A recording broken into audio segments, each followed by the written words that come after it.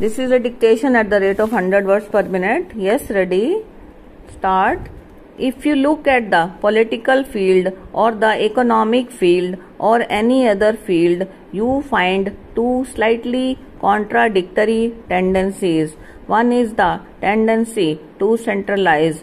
Now, centralization is inevitable in the modern world, whether it is governmental or of any other kind. It may give you better results, it may develop better efficiency and all the rest of it. Although a stage arrives in the process of centralization when perhaps efficiency does not grow. The other tendency is the growth of individual human freedom. Undoubtedly, the greater the centralization, the less the individual freedom, even though the results obtained might be better. Some people prefer the processes of decentralization because they allow the individual to grow more. On the other hand, there are certain very important things in modern link which cannot be decentralized if you want any progress at all. Well, you have got to balance all these things, but the main thing is that the growth of the individual human being or group cannot be imposed. A human being grows and ought to grow like a flower or a plant.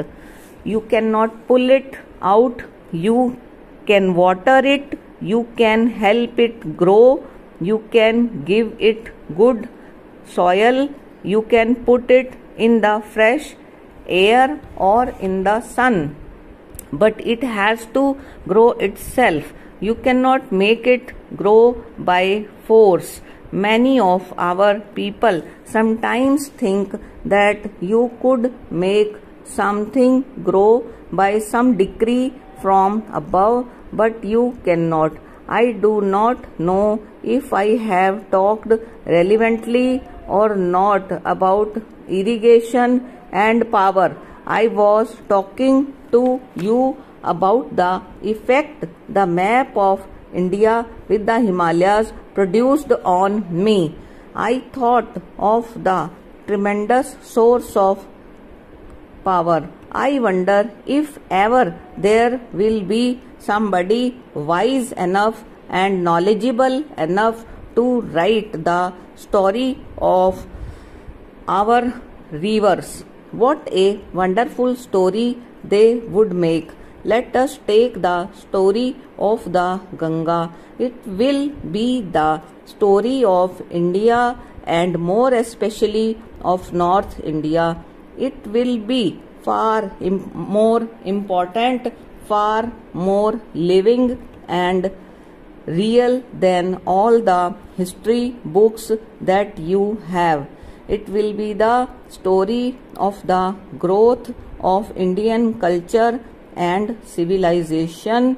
It will be the story of the great cities on the Ganga. It will be the story of the rise and fall of empires.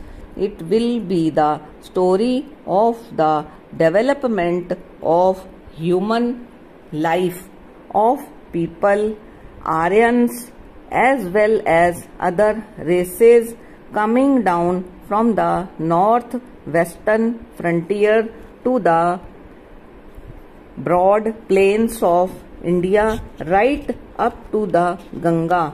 It will be a magnificent story if it could be written properly. Of course, it is not the engineer's job to write it, but I want the engineer who works on these rivers to have an imaginative approach to his work. Even the stones will tell a story. I should like not only the big engineer but also the small engineer to think in this way and to convey something of this exciting approach to the worker in the